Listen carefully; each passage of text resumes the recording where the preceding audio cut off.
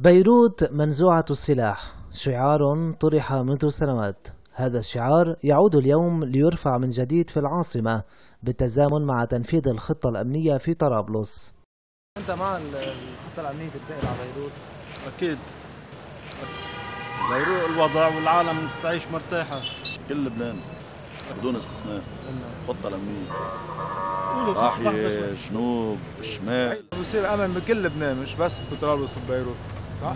ينتشر الجيش بكل لبنان يعني بحاجة كل إنسان إنه يشوف بقى الراحة والأمان بقنان. بالنهاية الجيش هو يسيطر على كل لبنان يعني الدولة.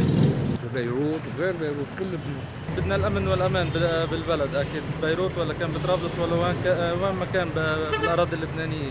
الإشكالات في بيروت تتكرر بسبب تفلت المسلحين الذين تزايدوا خصوصا بعد زرع منتمين إلى ما يسمى بسرايا المقاومة في الأحياء. وقائع الأمور اللي صايرة بطرابلس بتبشر بأنه الأمور رايحة لتحسن كبير وبتأكد على أنه الجيش والقوى الأمنية قادرة أنها تضبط الأمن وتؤمن استقرار المواطن إذا أعطيت الغطاء. هذا مطلب الآن أنه ما حصل في نموذج طرابلس ينبغي أن يعمم على بيروت وعلى سائر المناطق اللبنانية. أنا باعتقادي أنه كما فعلت القوى السياسية في طرابلس بأنها أعطت ثقتها للجيش اللبناني وللقوى الأمنية المختلفة المطلوب من القوى السياسية في بيروت أيضا اللي بتغطي سرايا المقاومة أن تمنح نفس الثقة للجيش اللبناني وتؤكد أنها فعلا لا مجرد قول وشعارات هي تثق بالجيش اللبناني.